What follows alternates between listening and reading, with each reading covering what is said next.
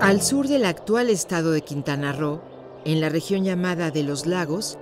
entre Chetumal y Carrillo Puerto, se localiza la antigua ciudad maya conocida ahora como Chacchoven. Término que quiere decir lugar del maíz colorado y que corresponde al nombre del ejido en que se encuentra la zona arqueológica, pues no tenemos evidencias que nos permitan identificar su nombre original. Esta enigmática ciudad, cuyo poblamiento inició hacia el siglo III a.C., se constituyó como centro urbano en el siglo III de nuestra era, cuando se definió su traza y se levantaron sus primeros edificios de estilo Petén, emprendiendo un desarrollo de cinco siglos que derivó en su relativo abandono hacia el siglo VIII,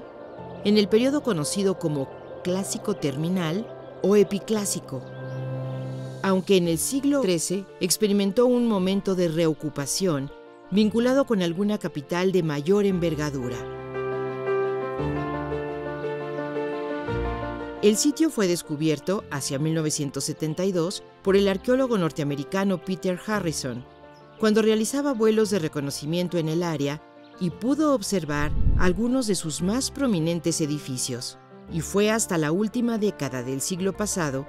que el INA emprendió investigaciones sistemáticas y trabajos de excavación y liberación de estructuras monumentales, tendientes a abrir la zona al público visitante.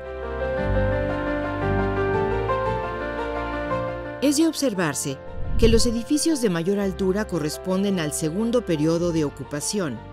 entre los siglos XIII y XV de nuestra era, y como suele ocurrir, son resultado de la superposición de etapas constructivas y remodelaciones sucesivas, como puede observarse en el conjunto de los edificios gemelos. El estilo constructivo de la primera fase de la ciudad presenta similitudes con sitios no lejanos de Guatemala y el norte de Belice, en lo que se ha denominado estilo Petén, caracterizado por esquinas redondeadas y taludes en delantal, con ornamentos consistentes en grandes figuras realizadas en estuco a manera de mascarones que flanquean escalinatas. Las estructuras tuvieron diversas funciones, habitacionales, ceremoniales o de marcaje de acontecimientos, como el Monumento 1, que parece haber funcionado para señalar fechas relevantes, referir al contacto entre lo sagrado y lo terreno, y marcar momentos del ciclo anual, como los equinoccios y solsticios, relacionados también con el ciclo agrícola, de la siembra a la cosecha. A lo largo de varias temporadas de exploración arqueológica,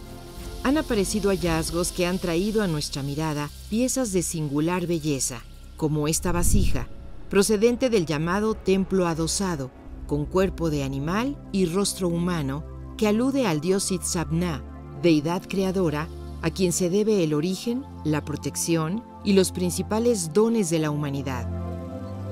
También se han localizado dos estelas, con talla de glifos y cerámica ricamente decorada. Chakchoven nos ofrece también una nutrida colección de fragmentos de incensarios que ponen de manifiesto la importancia que tuvo como centro ritual, incluso después de su abandono, pues como se ha referido, para el siglo XIII experimentó un renacimiento en que la ciudad se convirtió en importante centro de veneración y peregrinaje.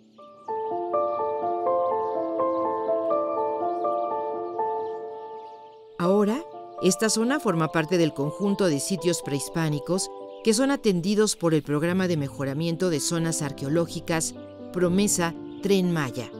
gracias al cual ha sido posible el desarrollo de nuevas investigaciones en el área, así como la atención de las necesidades de conservación de sus estructuras y bienes muebles. Además, se genera nueva infraestructura para la atención al público visitante y se adecuan senderos interpretativos que alcanzan un recorrido total de 572 metros con un nuevo cedulario para la mejor comprensión del sitio. De esta manera, Chacchoven se inserta en esta numerosa red de lugares emblemáticos de la grandeza y extensión de la nación maya mesoamericana, que sigue viva en las comunidades mayas, que hoy se mantienen en la lucha por una vida mejor y por la defensa de su lengua, su cultura y sus reivindicaciones sociales y culturales como pueblos en resistencia.